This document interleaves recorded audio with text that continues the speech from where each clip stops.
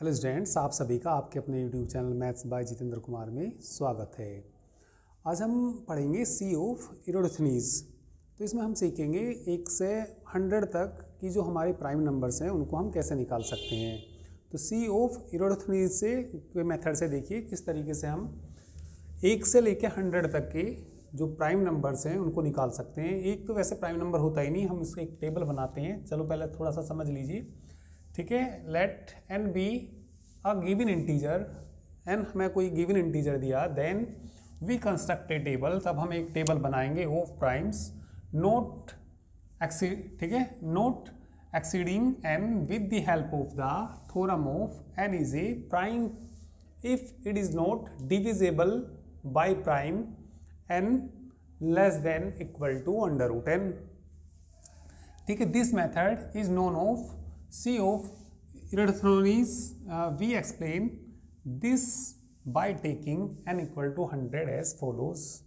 तो हमें हम n equal to 100 लेके यानी कि एक 100 तक के हम प्राइम नंबर्स निकालेंगे। कौन से मेथड से निकालेंगे? C of Eratosthenes मेथड से निकालेंगे। तो चलिए देखिए कैसे निकालते हैं इसमें। सबसे पहले सबसे पहले हमारे पास जो प्राइम नंबर है वो कौन है? टू है।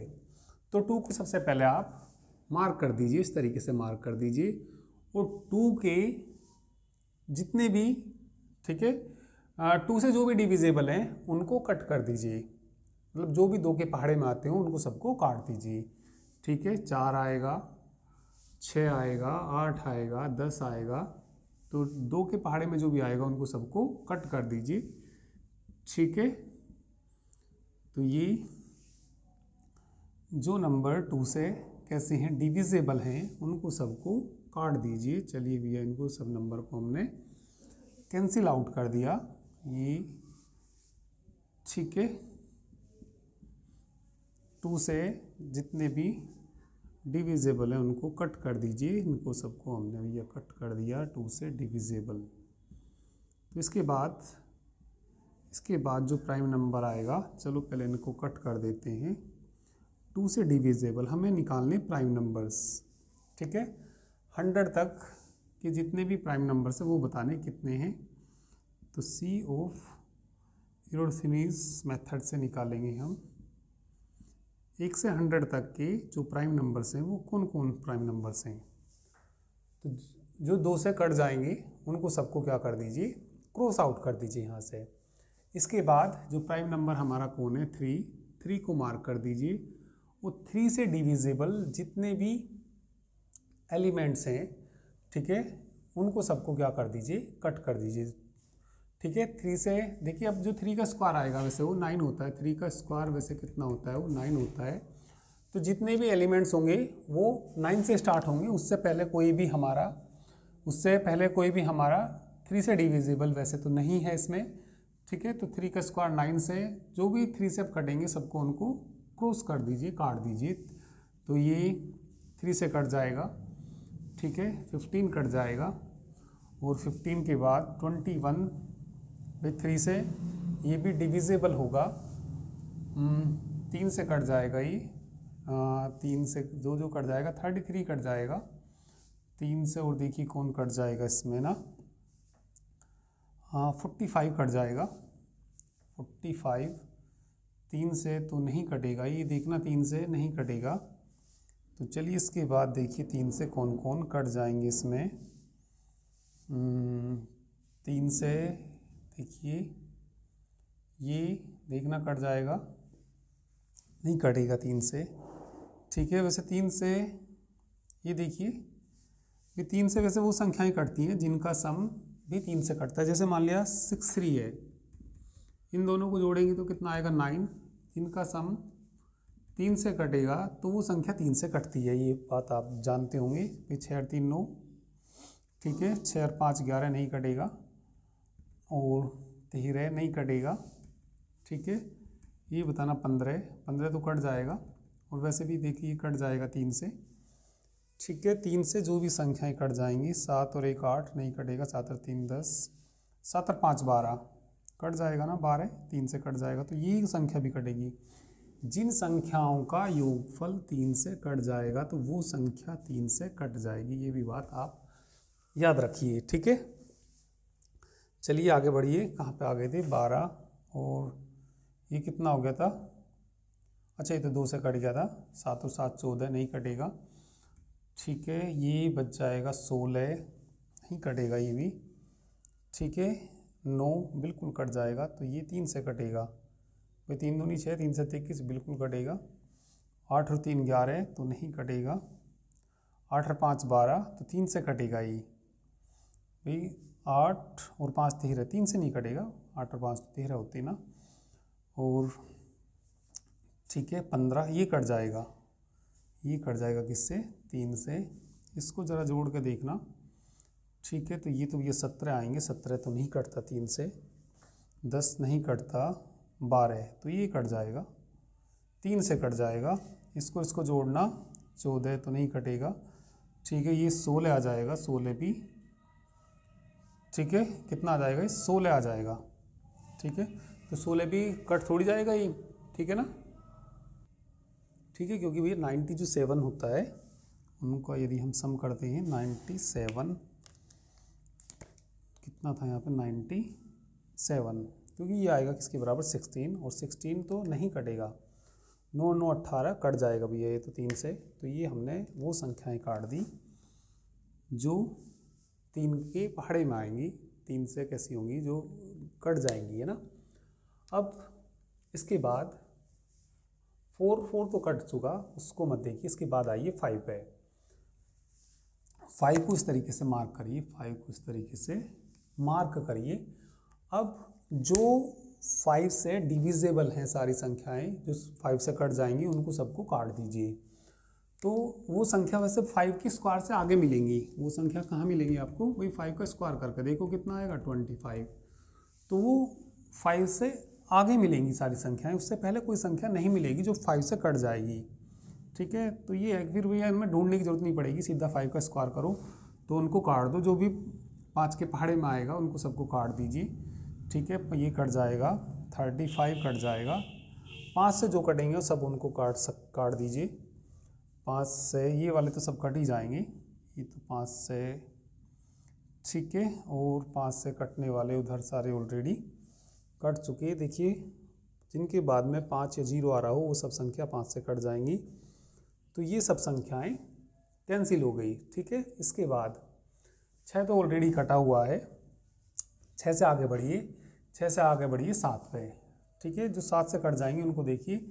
और सात सत्ती, सात का स्क्वायर क्या होता है? उनचास होता है। उनचास से आगे देखिए। उससे पहले तो कोई संख्या नहीं आएगी। ठीक है? तो ये सात सत्ती, उनचास। ये सात से कट जाएगा। तो सब संख्या उससे आगे ही मिलेंगी सात से। ठीक है? और देखिए सात से कौन कट जाएगा? सात से, बताइए कौन कट जाएगा? सात सत्य उनचास, ठीक है, और सात अठे कितना हो जाएगा? छप्पन देखो, छप्पन तो ऑलरेडी कटा हुआ है।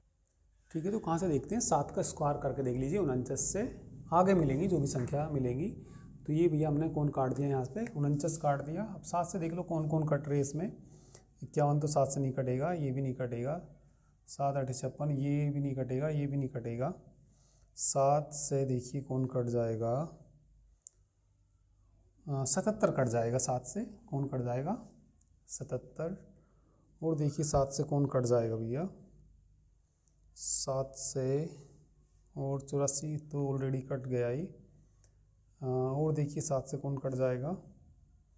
सात से नहीं कटेगा ये भी नहीं कटेगा ये भी। अब ये देखिए सात से कट जाएगा क्या?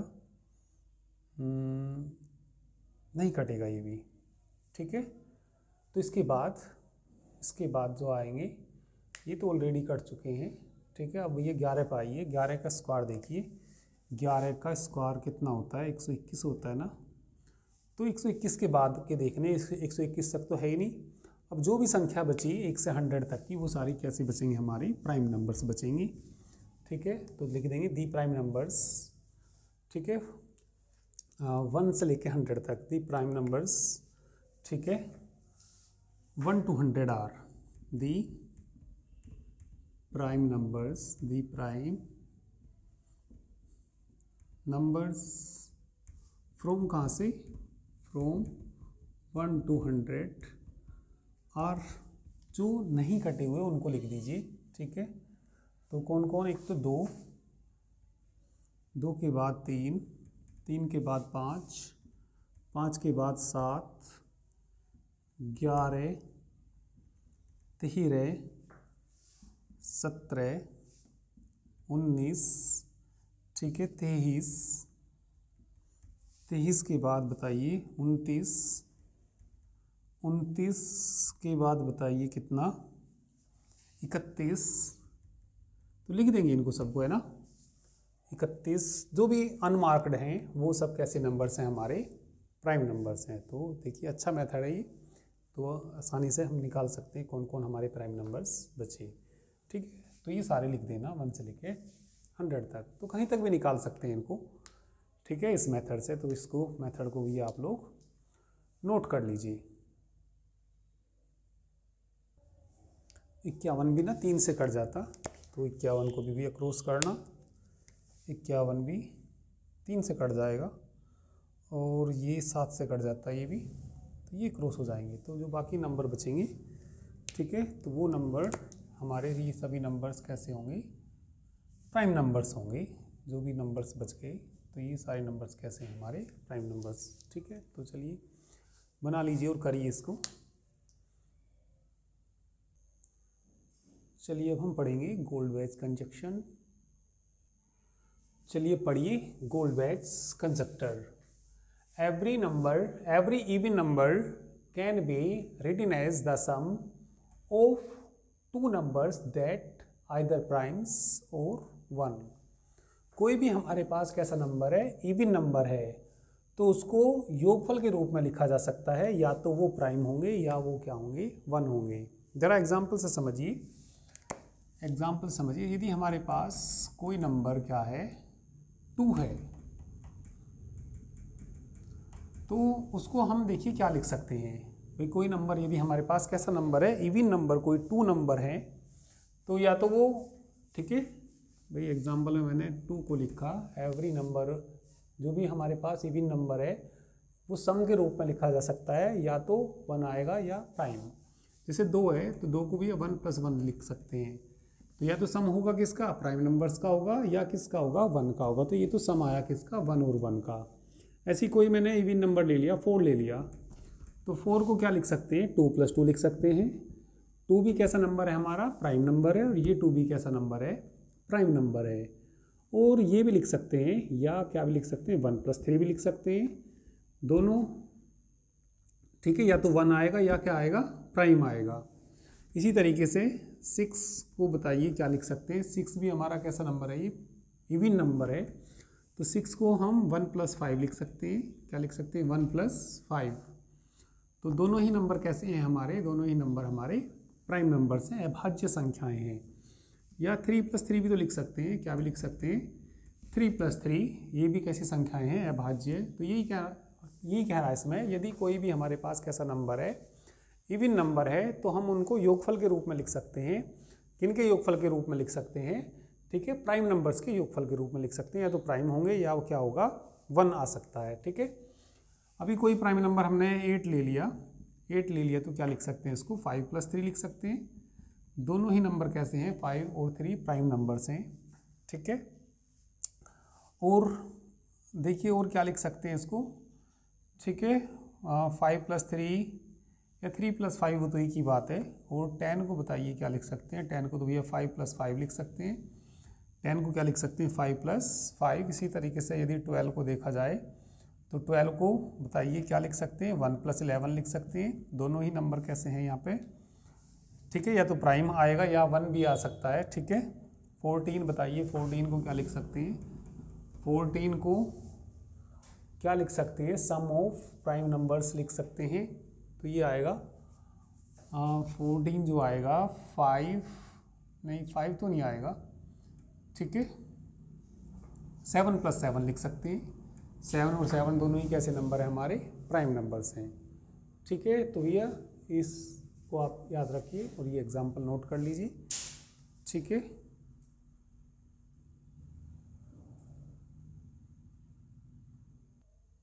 चलिए इसमें बाकी कल कराऊँगा मैं।